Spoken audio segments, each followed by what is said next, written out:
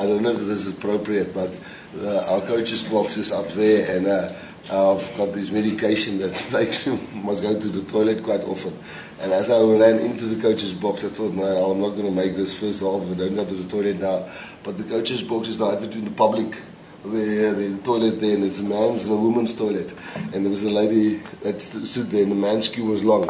And the lady said, "Now I can go in." And there was a lady in the bathroom, and she, but it was all dressed, everything fine. and,